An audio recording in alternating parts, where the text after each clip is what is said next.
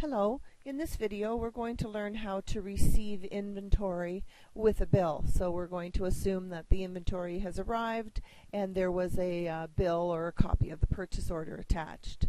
So we're receiving inventory from one of our vendors. So then we will be going to the vendor center. We're in our sample file here.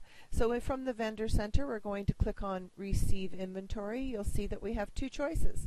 One is to receive inventory with a bill and one is to receive it without. So we're going to click on with a bill. And then the first thing that we're going to do is we're going to choose the um, vendor that we're that we're receiving the inventory from. So in this case, we're going to receive inventory from CU Electrical Supply.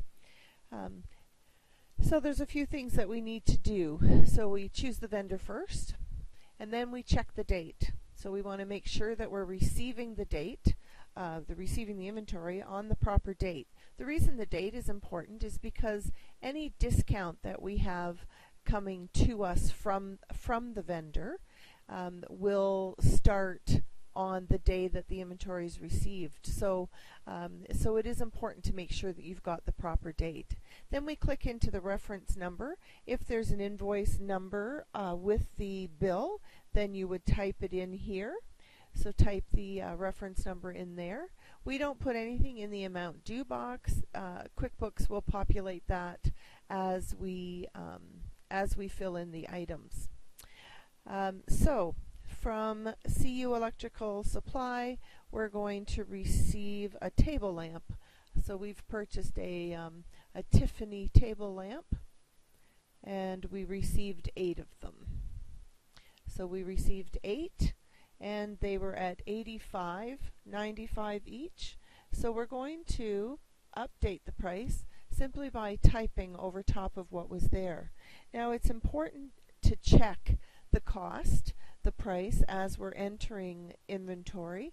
Um, because the price that will show up is the price that we currently have in our inventory list.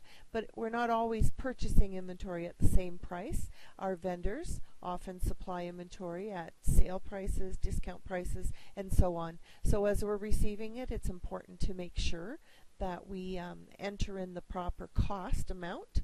Uh, and then when we press tab to move past, we will get a dialog box that shows that just tells us that we've changed the cost for that table lamp and did we want to update the item with the new cost. We're going to click yes when we see those messages um, and then that um, will update the, the cost in our item list. We'll know then the cost that we paid the last time we purch purchased that particular item. So we've purchased eight Tiffany lamps. Uh, the total amount drops in there. It automatically enters the HST that's due and then puts the total amount due up at the top of the form. Um, so we would continue, we would click down if we had more items to receive, we would click down into each of those rows, choose the items, uh, type in the amount if it's different uh, until the, uh, the bill was complete. In this particular case, that's the only item that we're going to receive, so we're just going to double check everything, make sure you've got the right vendor name, make sure you've changed the date, you've typed in the reference number, and you've listed the items that you've received correctly, checking the costs that you've received them at. When all of those things are done and you're satisfied with your form, then just click Save and Close.